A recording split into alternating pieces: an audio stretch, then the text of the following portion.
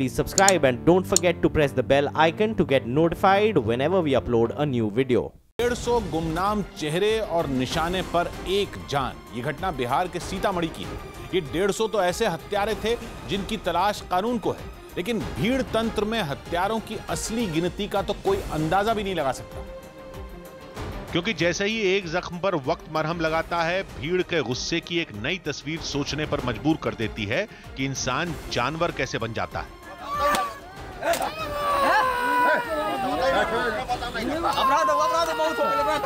तो यूपी के कानपुर में कातिल भीड़ का एक दूसरा चेहरा सामने आया, जब हाईवे पर एक बाइक हादसे का शिकार हो गई। बुरी तरह जख्मी लोग मदद मांगने लगे और सड़क से गाड़ियाँ फर्राटा भरते हुए गुजरती रही। सीतामढ़ी में भीड़ के हाथ एक शख्स की जान लेने पर आमादा थे। और कानपुर में भीड़ को किसी की जान जाने से फ़र्क ही नहीं पड़ रहा था। सीतामढ़ी में भीड़ एक अधमरे शख्स पर लातें बरसा रही थी और कानपुर के हाईवे पर हर पल ज़िंदगी की जंग लड़ रहे लोगों की भीड़ में किसी को परवाह नहीं थी। सीतामढ़ी में भीड़ वो थी जो एक युवक को घेर कर मौत के घाट उतारना चाहती थी और कानपुर में भीड़ वो थी जो एक एक गाड़ी में गुजर रही थी। लेकिन मौत के मुँह में जा रहे किसी शख्स को बचाने के लिए रुकने के लिए तैयार नहीं थे। सीतामढ़ी में भी एक शख्स हत्यारी भीड़ से घिरा था और कानपुर में सड़क से गुजर रहा हर शख्स हत्यारा था, जो मदद के लिए गिड़गिड़ाते, घायल की मदद के लिए तैयार नहीं था। सीतामढ़ी में ज़मीन पर गिरे शख्स की चीख और दर्द पर किसी को रहम नहीं आया।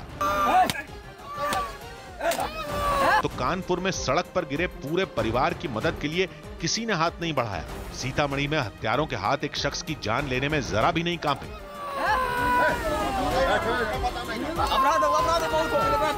तो कानपुर की सड़क पर भी कुछ ऐसे हत्यारे थे, जिनके हाथ सड़क पर सिस्कियाँ भरते लोगों का वीडियो बनाने में भी नहीं झिझके।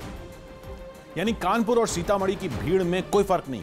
कभी इस भीड़ को इतना गुस्सा आता है कि मामूली बात पर किसी की जान ले लेती है और कभी किसी मरते हुए शख्स पर जरा सा भी रहम नहीं आता। बिहार के सीतामढ़ी में जो हुआ वो बेहद शर्मनाक था। जब डेढ़ सौ गुमनाम चेहरों को ऐसा गुस्सा आया कि एक युवक मौत की नींद सुला दिया गया।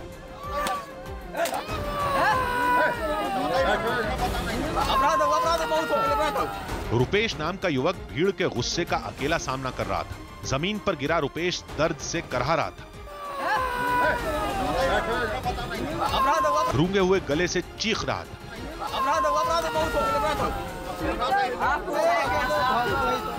लेकिन जिन लोगों से रुपेश घिरा था, उनका दिल पसीज नहीं रहा था। कोई उसके सिर पर लात मार रहा था तो कोई उसकी पीठ पर लात बरसा रहा था। कुछ लोग डंडे लेकर खड़े थे, जो रुपेश की चीख कम होते ही डंडे बरसा रहे थे। रुपेश को कई लोगों ने घेरा हुआ था और आसपास खड़े एक भी शख्स को उसकी हालत पर तरस नहीं आया। भीड़ में बच्चे भी दिखे, लेकिन सबके लिए तो जैसे कोई तमाशा चल रहा था। इस हैवानियत का शिकार हुए रुपेश पर एक गाड़ी से कुछ सामान चोरी करने का आरोप लगा था। रुपेश की कुछ कहासुनी शुरू हुई और थोड़ी देर में सड़क पर जमा हुई भीड़ ने गुस्सा निकालना शुरू कर दिया।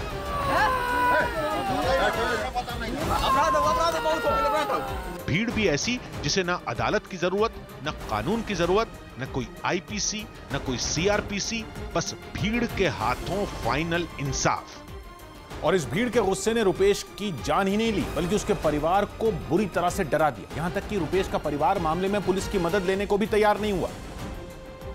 और पुलिस को लिख कर दे दिया कि उसे न जाँच करवानी है और न ही पोस्टमार्टम करवाना।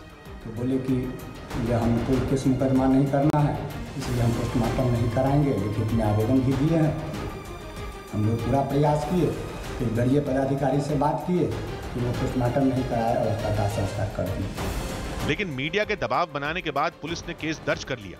एक सौ इक्यावन लोगों के खिलाफ केस दर्ज किया गया जिनमें डेढ़ सौ लोग गुमनाम हैं।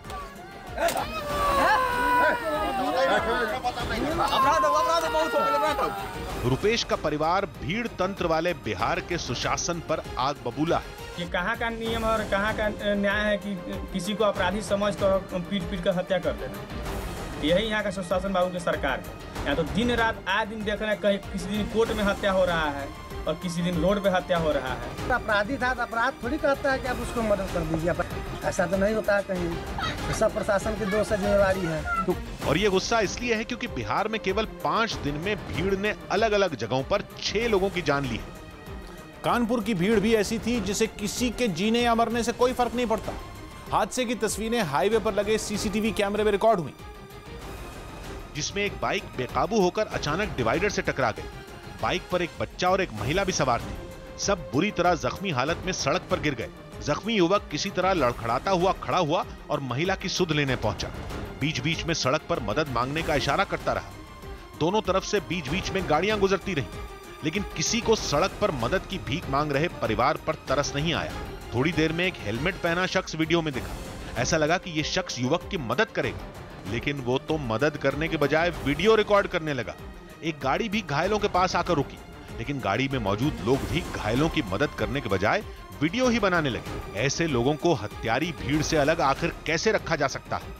बाद में पुलिस ने घायलों को अस्पताल पहुँचाया, जिनमें एक की मौत हो गई।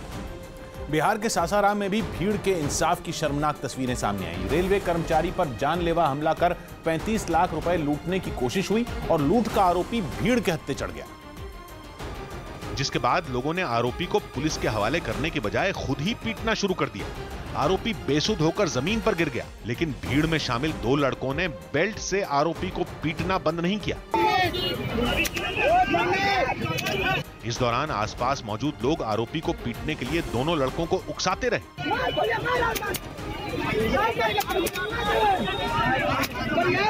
सरेआम हो रही भीड़ के इंसाफ को देखने के लिए लोगों की भीड़ जुट गई। लेकिन किसी ने भी दोनों लड़कों को रोका नहीं, बल्कि भीड़ लड़कों की तारीफ़ करती रही। लगातार बरस रही बेल्ट से युवक के शरीर में कोई हरकत नहीं हो रही थी। यानी पिटाई के बाद आरोपी बेहोश हो चुका था, लेकिन बेल्ट बरसा रहे लड़कों के हाथ फिर भी नहीं रुके। शर्मनाक तो ये था कि भीड़ में मौजूद कुछ लोग तो घटना को मोबाइल में रिकॉर्ड करने में लगे थे। तो भीड़ में शामिल एक शख्स आरोपी की गर्दन तोड़ने के लिए कहता सुना गया। बाद में भीड़ के गुस्से का शिकार हुए आरोपी को अस्पताल पहुँचाया गया लेकिन इलाज के दौरान उसकी मौत हो गई। लगातार बढ़ रही ऐसी घटनाओं के बाद देश के कानून में भी बड़े बदलाव की तैयारी है। सुप्रीम कोर्ट ने भीड़ की हिंसा से जुड़े मामलों पर कदम उठाने के लिए 17 जुलाई को आदेश दिया था। जिसमें राज्य सरकारों को सलाह दी गई थी कि भीड़ की हिंसा के मामलों से निपटने के लिए आईपीसी और सीआरपीसी में बदलाव करके एक नया कानून तैयार किया जाए। सलाह दी गई थी कि हर ज़िले में ऐसी घटनाओं से निपटने के लिए एक अलग अफसर की तैनाती की जाए। फास्ट ट्रैक कोर्ट बनाने और अफवाहों पर लगाम कसने पर भी ज़ोर देने को कहा गया। शुक्रवार सात सितंबर को मामले पर सुप्रीम कोर्ट में दोबारा सुनवाई हुई, लेकिन कोई खास तरक्की हासिल नहीं हुई, क्यूँकी सुप्रीम कोर्ट के निर्देशों आरोप देश के केवल ग्यारह राज्यों ने कदम उठाए थे। कोर्ट ने लापरवाही बरतने वाले राज्यों को कड़ी फटकार लगाई। जिसकी वजह है पहले से मौजूद कानूनों की ढिलाई। देश के इतिहास में कोई भी ऐसा उदाहरण नहीं है जब भीड़ ने किसी हिंसा को अंजाम दिया हो और भीड़ में मौजूद सभी लोगों को कानूनी कार्रवाई का सामना करना पड़ा और इसीलिए भीड़ के नाम पर लोग कानून हाथ में लेने से जरा भी नहीं घबराते। बिहार के बेगूसराय में बीते शुक्रवार को एक स्कूल के परिसर में भीड़ ने तीन लोगों की पीट पीट कर हत्या कर दी। मारे गए लोगों पर आरोप था कि वो स्कूल की एक छात्रा का अपहरण करने आए थे, जिसके बाद इलाके के लोगों ने आरोपियों पर लाठियाँ बरसानी शुरू कर दी। कुछ लोगों ने आरोपियों पर ईंटों से हमला किया। भीड़ के हत्थे छड़े आरोपियों ने लोगों से रहम की गुहार लगाई, लेकिन नाराज़ लोगों ने बदमाशों की एक नहीं सुनी। भीड़ की हिंसा के दौरान वहाँ सैकड़ों लोग मौजूद रहे, लेकिन किसी ने भी इस घटना का विरोध नहीं किया। तो झारखंड के दुमका में भी कुछ ऐसा ही हुआ। सड़क हादसे में एक बच्चे की मौत हो गई और ट्रक ड्राइवर भीड़ के गुस्से का शिकार बन गया। भीड़ ने ट्रक ड्राइवर को इस कदर पीटा की उसकी मौत हो गई। सुप्रीम कोर्ट के आदेश का असर हो या देश में भीड़ के गुस्से पर तेज हो रही सियासत का? माना जा रहा है कि केंद्र सरकार जल्द ही एक नया कानून बनाने वाली है। जिसका नाम मानव सुरक्षा कानून हो सकता है। ये बिल गृह मंत्रालय ने तैयार किया है, जिसे जल्द ही कैबिनेट के सामने रखा जाएगा। दावा किया जा रहा है कि भीड़ की हिंसा के खिलाफ बनाए गए इस नए बिल में ऐसी घटनाओं के खिलाफ कड़े प्रावधान होंगे। भीड़ में शामिल हर शख्स को बराबर का दोषी माना जाएगा। चाहे वो हिंसा में शामिल हो या न हो, अगर हिंसा के शिकार की मौत होती है तो आरोपियों को उम्र कैद की सजा का प्रावधान। इसके अलावा पीड़ित की मौत होने पर पाँच लाख रुपए का जुर्माना भी देना होगा। अगर पीड़ित को गंभीर चोटें आती हैं तो सजा दस साल की होगी और जुर्माना तीन लाख रुपए का देना होगा। इस तरह के जुर्माने की रकम भीड़ की हिंसा का शिकार हुए शख्स या उसके परिवार को दी जाएगी। रकबर खान से लेकर पहलू खान तक अलग अलग मामलों में भीड़ की दरिंदगी के बाद देश में सियासी पारा ही नहीं चढ़ा, बल्कि ऐसे मामलों से लड़ने में कानून की लाचारी भी सामने आई। लेकिन इस वक्त भीड़ के गुस्से पर बिहार में हंगामा मचा हुआ है। केवल एक हफ़्ते में एक के बाद एक हुई कई घटनाओं की वजह से नीतीश कुमार का सुशासन सवालों में और विपक्ष का आरोप है कि बिहार में अब सुशासन की जगह मॉब लिंचिंग ने ले ली। मॉब लिंचिंग की घटनाएँ ये साबित करती हैं कि बिहार में अब कोई कानून का राज नहीं है और नीतीश कुमार ने अपना सब कुछ खो दिया है। लेकिन एक के बाद एक छह घटनाएँ सामने आने के बाद सरकार बैकफुट पर है पुलिस वालों की कमी का रोना रो रही है। दावा किया जा रहा है कि समाज की सोच बदलने की ज़रूरत है। सख्ती से कदम उठाने के सारे आदेश दे दिए लेकिन पुलिस बल सीमित है। हर उस जगह पे पुलिस नहीं हो सकती है जहाँ मॉब लिंचिंग होने का आशंका होता है। समाज को अपनी सोच बदलने की ज़रूरत है। हालाँकि ऐसी घटनाओं के लिए जितना कसूरवार समाज है, उतना ही दोष कमज़ोर कानून का भी है जो लोगों को शायद ये भरोसा देता है कि भीड़ के नाम पर अगर हत्या भी करती तो भी कानून कुछ बिगाड़ नहीं पाएगा। शायद इसीलिए पिछले कुछ वर्षों में भीड़ की हिंसा की घटनाओं में बड़ा इजाफा हुआ है। आंकड़ों के मुताबिक देश में पिछले एक साल में 40 लोगों को भीड़ ने मौत के घाट उतारा। देश में ऐसे नौ राज्य रहे जहाँ पिछले एक साल में भीड़ की हिंसा की घटनाएँ हुई। इंडिया स्पेन नाम की एक वेबसाइट के मुताबिक 2014 के बाद से केवल गोहत्या के शक में भीड़ की हिंसा की पचासी घटनाएँ सामने आई। गोहत्या के शक में हुई भीड़ की हिंसा की इन घटनाओं में 34 लोगों की मौत हो और 150 से ज़्यादा लोग ऐसी घटनाओं में जख्मी हो तो सोशल मीडिया ने भी आग में घी डालने का काम किया। बीते कुछ महीनों में भीड़ की हिंसा की कई घटनाओं में तो सोशल मीडिया ही वजह बना। और दावा किया जा रहा है कि ऐसी घटनाओं में 30 लोगों की मौत हुई और 100 से ज़्यादा लोग घायल हो गए। इनमें ज़्यादातर घटनाएँ वो थीं जिनमें सोशल मीडिया के ज़रिए फैली अफवाहें हिंसा की वजह बनी।